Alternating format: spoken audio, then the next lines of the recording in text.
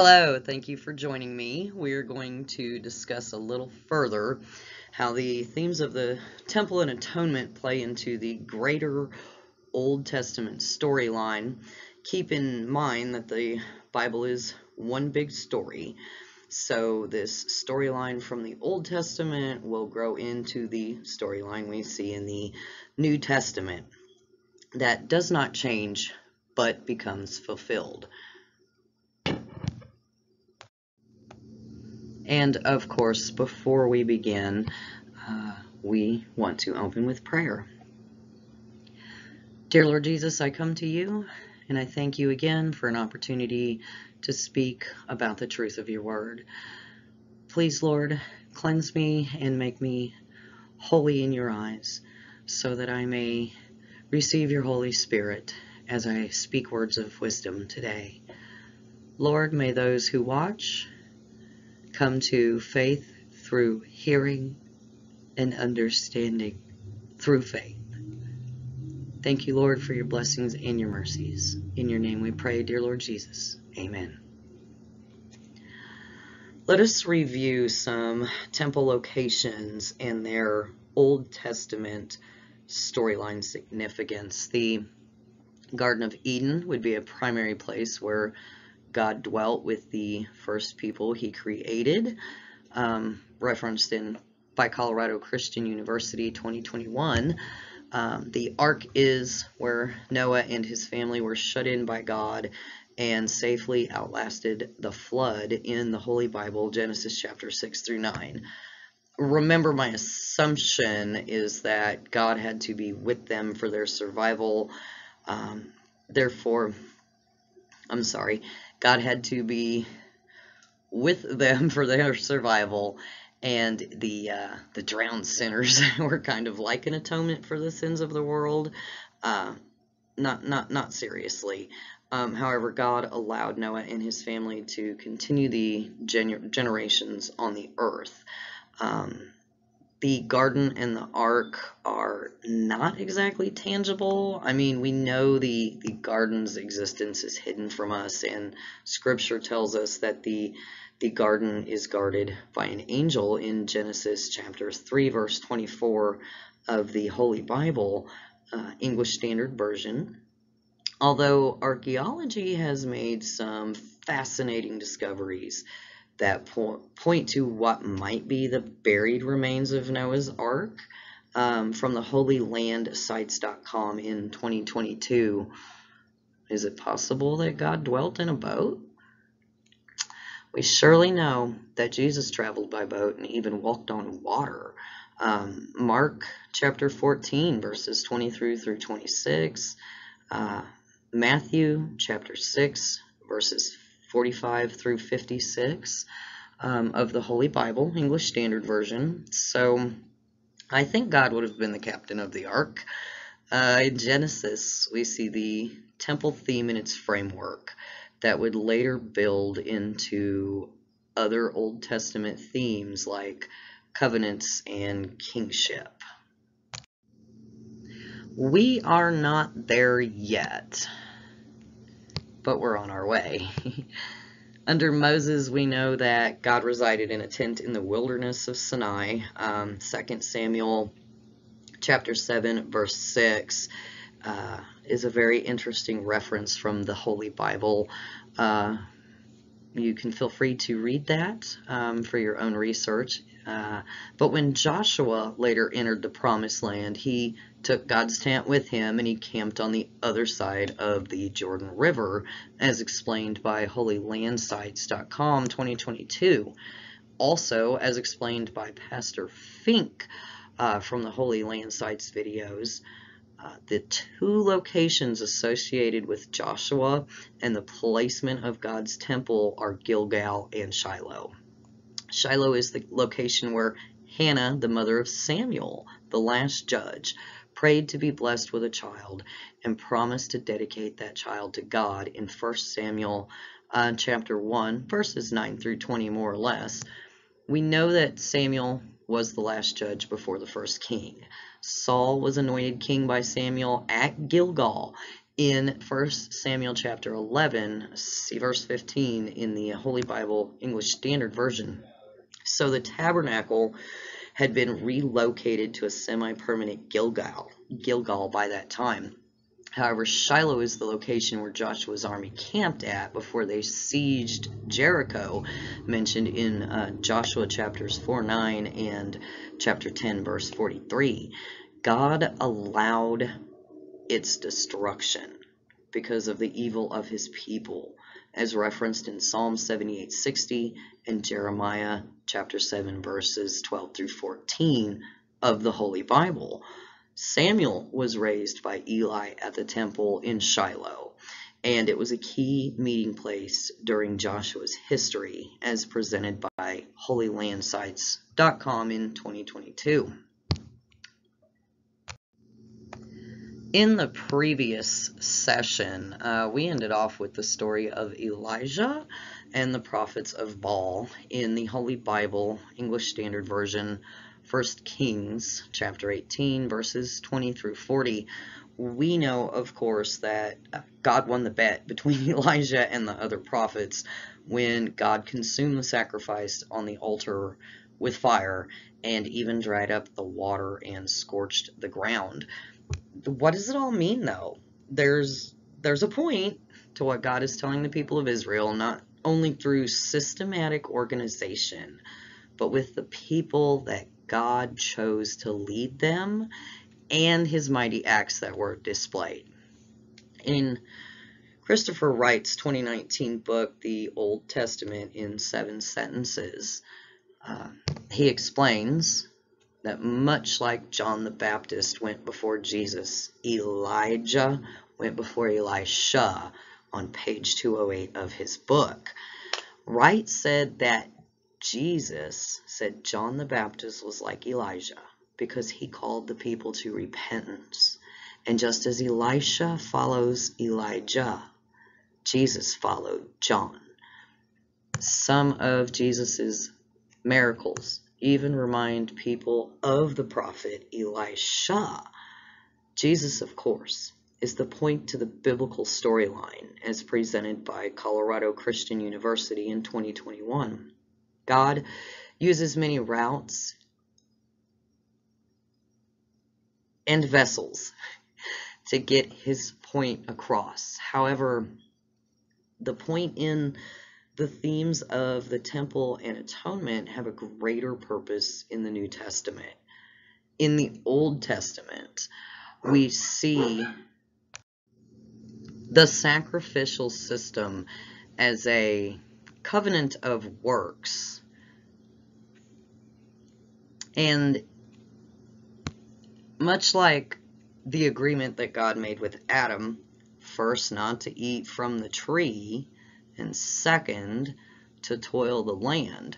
In Genesis chapter 2, verse 17, which was not included in the first video, ah, secrets. Um, I loved being able to reveal that. Secondly, in Genesis chapter 3, verse 17, and supported by Paul in the book of Romans chapter 5, verses 12 through 21 of the Holy Bible, English Standard Version.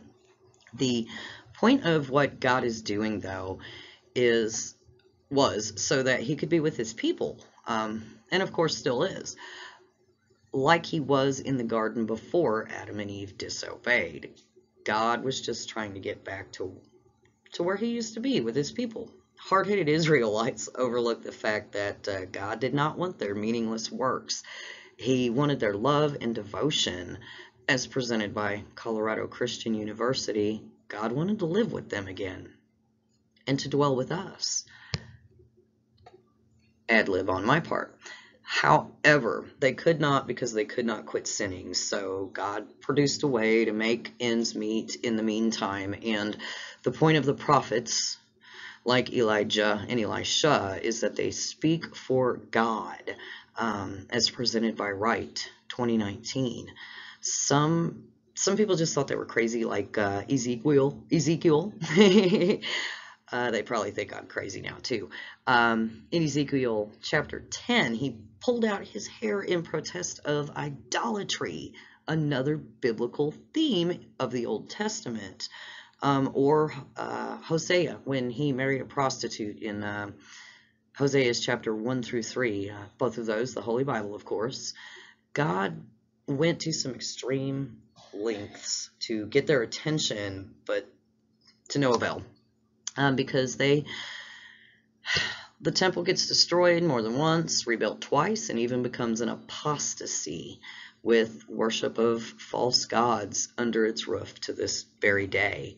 Um, presented by holylandsites.com, not exactly in those words, uh, but it is what I've gathered from hearing about the other religions that do also share co-ownership of this temple. Um, this brings me to one of my favorite points, however. When Jesus flipped the tables in the temple. Um, not exactly Old Testament, I understand, but there's a point. Uh, Jesus was uh, in what we call the Temple Mount. In the Holy Bible English Standard Version, Matthew chapter 21, verses 12 through 13, and Mark chapter 11, verses 15 through 18.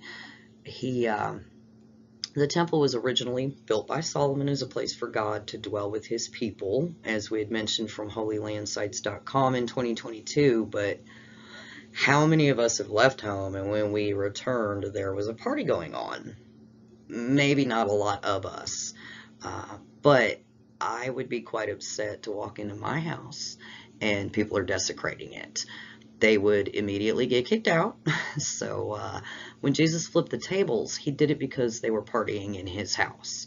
The point of the temple was for God to have a dwelling place with his people. Additionally, the point of sacrifices is that the spilling of blood would bring both a curse and forgiveness. Um, in Genesis chapter 4, verse 11, in the Holy Bible, uh, Abel, of course, spilled the blood of his brother in verse 10 and called out to God. Um, and in verse 11, God explains that basically he's cursed, the, ground is a curse to him. And it is additionally supported in Hebrews chapter 9, verse 22, that talks about the forgiveness and restoration in found in the blood. Um, so we have both a curse and a promise in, in the blood. Sacrifices were to be done on altars normally close to God's temple, as explained by Colorado Christian University in 2021. However, the folks in the temple were not seeking forgiveness, but instead defiling God's temple. So by the time we get to Jesus, the Jewish people have a strict regimen of Sabbaths and sacrifices. Uh, you can read about that, Mark chapter 7, verse 1 through 13, Matthew chapter 15, verses 1 through 9 in the Holy Bible, and that will also be in the words of Jesus, what you read there. But as we know now, no amount of innocent blood would ever be close enough um, to cleanse the sins of man. And this is found in the Holy Bible, um, Hebrews chapter 10, verse 4. We, we all know that there is woo, when you're moved by the Spirit, kingship in Christ. But we, we see how God used kings to create these temples and to continue the instruction of sacrifices for the people of Israel. We, we are not yet near the sacrifice of Christ, though I would love to continue. I'm going to have to keep us on track. The uh, agreement of sacrifices for atonement reflects the covenant theme that is carried through Scripture and presented by Colorado Christian University in 2021. We started with a dwelling place and immediately fell into sacrifices. This repeated in Genesis and became more further established after the Exodus.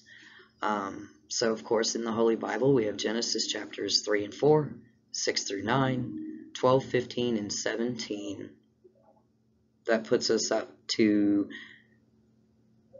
the Adamic, the Noamic, and the Abrahamic covenants. And when Joshua, Joshua arrives after Moses uh, in the Promised Land, a more semi-permanent dwelling was erected. But again, the pattern of sin and disobedience brought its destruction in Joshua uh, chapters 1, 4, and 18, and supported by the HolyLandSites.com. So we even have kings that disobey, for example, Saul and David spill blood, much like Cain in Genesis. This blood cursed the ground in all accounts. That is uh, the Holy Bible, English Standard Version, Genesis chapter 4:11, and 1 Samuel chapter 7, verse 15, 1 Chronicles chapter 28, 8. I'm sorry, 22, chapter 22, verse 8, all the way through chapter 28, verse 3 in First Chronicles. The point is that God must ordain the spilling of blood. And certain criteria based on the law given to Moses in Leviticus chapters 1 through 7 of the Holy Bible. Uh, this spilling of blood and sacrificial atonement system is meant for the temporary forgiveness of sin. As well, we read in Leviticus Thus shall he make atonement for the holy place, because of the unclean, uncleannesses of the people of Israel, and because their transgressions, all their sins, and so shall he do for the tent of meeting, which dwells in them in the midst of their uncleannesses. That is, the Holy Bible English Standard Version, Leviticus chapter 16, verse 16. And additionally, the uh, breaking breaking the covenant between God and his people would also cause lamentations in the Old Testament storyline. Um, and of course, the entire book Lamentations from the Holy Bible English Standard Version. I mean, if everything went perfectly all the time, there would be no need for restoration of sins. Uh, but nothing went perfectly and God had planned it that way. We see again the logic in God's plan, as stated by Myers and Nobel from 2015. Um, it just makes sense. God made uh, several covenants with Adam, Noah, Abraham, Moses, and David. Um, Genesis chapter 2, chapter 3, chapter 8, chapter 12, chapter 15, chapter 17, the book of Exodus, the book of Deuteronomy, and uh, in 1 Samuel chapter 7 there you can read about David. However, it all points to the sovereignty of God, which is where we find the character of God laid out in the Old Testament storylines. God is perfect and holy and just. Um, we read about that in Isaiah uh, chapter 30, verse 18, chapter 61, verse 8, and in Job, chapter 34, verse 12 of the Holy Bible. God cannot break his promises. Therefore, God continued to set patterns in the kingdom so that one day a perfected kingdom would be the result. Um, again, that is as presented by Colorado Christian University 2021. So I hope that we're able to kind of see that pattern. Now, destruction kind of seems to be a theme in the Old Testament, but not because of any fault of God, because of the sins of Israel. We might instead call it a theme of judgment. Um, looking at 1 Samuel 21 verse 1 and Jeremiah chapter 7 verse 12, um, then the lamentations occurred because they were so busy blaming God and everything else, the Israelites did not realize that they were the reason for their own downfall. Um, and that's presented by Colorado Christian University also. But uh, even when they begged for a king in 1 Samuel chapter 8, it, it wasn't the right thing to do. Um, Israel rejected God and wanted him to put someone else in charge. It's kind of a kick in the teeth to his sovereignty. I mean, why would they need the little guy when, you know, they had the greatest one of all to fight their battles before them? Um, of course, scripture that supports that is Exodus chapter 14, verse 14, Deuteronomy chapter 3, verse 2, chapter 20, verse 4, and multiple from Isaiah chapter 41, verse 10, and 54, uh, verse 17. But like Colorado Christian University uh, said here in 2020, I'm sorry, in 2021, Israel was a revelatory people. They were supposed to reveal God through themselves, but they did the opposite and acted more like the devil sometimes. I, I'm not judging them. I'm a sinner too. Uh, we all know Romans verse 323 uh, from the Holy Bible, but it is just clear to us who can look back in retrospect, identify the things they could not understand at the time. Their idolatry was the cause for their repeated destruction and vicariously their lamentations. Uh, idolatry is, of course, another theme as presented by Colorado Christian University 2021. However, it is because of the greatness of God that he repeatedly showed mercy on his creation. It is additionally the reason why God kept trying to establish these things so that, it, so that we could understand them through God's word and be able to receive the gift of God. This gift we receive through the faith in his Son as the fulfillment of every prophecy in the past, present, and coming future. As Longman in his 2012 book, Introducing the Old Testament, explained, the Old Testament anticipates the gospel in the New Testament. The Old Testament storyline does not stand alone. It is part of a larger storyline. The Bible's overall storyline, as presented by Colorado Christian University 2021, the biblical themes interconnect, and to me they're like dominoes that'll fall into place according to God's Word. Thank you for watching, whenever and wherever, and as always, may God bless you.